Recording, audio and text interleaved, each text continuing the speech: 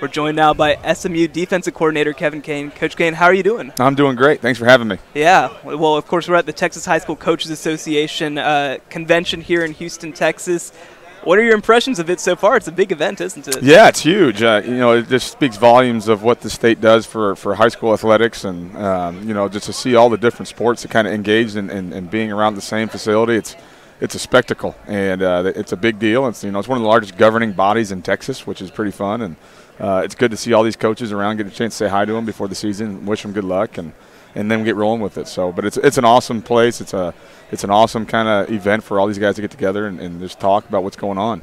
Well, you spent uh, several years, obviously, at Northern Illinois, and now heading into year two in Dallas at SMU. How much more comfortable does it feel now to really have ownership of the program and, and kind of have the ability to instill what you want there? You know, I think it's. Uh, there's a lot more comfort and there's a lot more familiarity with what's going on. You know, I, I told our guys coming in, into spring ball, you know, we took some steps last year as, as, as improving the, the defense, and now we need to take strides in year two. And uh, I, I, feel like guys have bought in that, that, what we are trying to accomplish. And you know, I thought we, we had a good buy-in from year one, but really, it's now we're into year two. Now we got to see this is what we expect.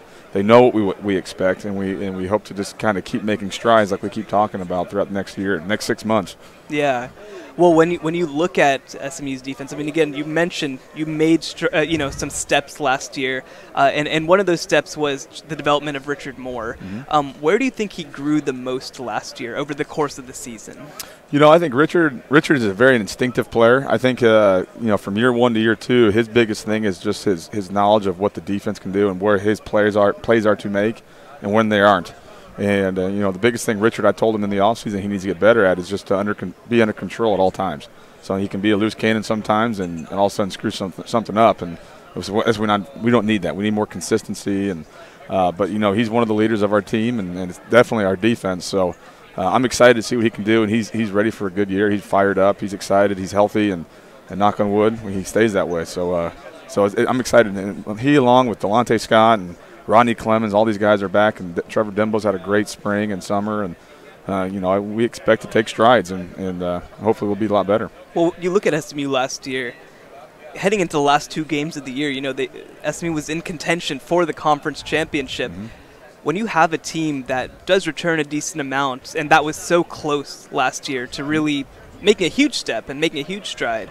Uh, does that make everybody just a little bit more hungry heading into? Oh, absolutely, and I, and I think uh, again, it was year one last year, and still learning, you know, how to play for Coach Dykes and for Coach Kane and Coach Lashlee and everything. I think going into that Tulsa game, the best thing that happened to our team was was that defeat, because now it's like, hey, we can't just show up. You know, we got to be able to come out here and play every day. So that kind of set the tone going into the winter, as far as how we how we approached everything. And I think our guys have grown up a lot since that day. And you know, I, it's crazy. This conference, I, I, everybody asks me how how is this conference compared to Northern Illinois. I'm like, this conference is unbelievable, and and the, and the best part about it is anybody can win any day, and uh, we're sitting there going into Week 11 with the chance to win our side of the conference, and and to know that going into this year, you know, there's all those unexpecteds, and you don't know question marks going into year one. Now we know that, and our guys are fired up about what they can accomplish. When it comes to the way that you coach defense and the way you install defense, what more can players sort of know and learn and do in year two that maybe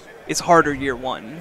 You know, I think the biggest thing right now for our guys is, is fundamentals are, are, the biggest thing. We can scheme everything up. So uh, for our, our guys to master their craft, uh, I think that's going to be the big step. If, we, if guys can just take the right steps more often, uh, read their keys better every snap, if we can do all that stuff, the scheme's going to take care of itself, you know. And if, if, we, if we can just day after day get a little bit better doing that, I think we're going to be a really good defense and a, and a better football team in general. What is Sonny Dykes' coaching style like? You know, I was asking Coach Lashlee a little bit earlier, but you know, they're both coaching offense. Obviously, you know, they, they're both offensive guys. How does Coach Dyke stay involved with the defense, and, and how exactly does he in, stay involved in the defensive game planning? You know, coach, he's awesome. He lets me do what we need to do, and that was a big thing when I got hired here. Is like how are we going to practice, how are we going to do stuff, and I think when he worked at TCU for that year, he kind of saw you can have a good offense and you can have a really good defense as well, and this is how you have to go about doing it. So. Um, he's always asking me, "What do we need? What do we need? What do we need?" and which is awesome for us. And then when it comes to game plan, I'm, I'm always asking him, "Hey, what do you think of this? What do you think of this? What would you do against this?" And And uh, so he's always giving me feedback about how he would attack certain things, which helps helps me tweak the package and, and, and do certain things that we do. Awesome. Well, Coach, thank you so much for Yeah, joining us. appreciate and you, man. We'll talk to you again real soon. All right, boss. Appreciate it.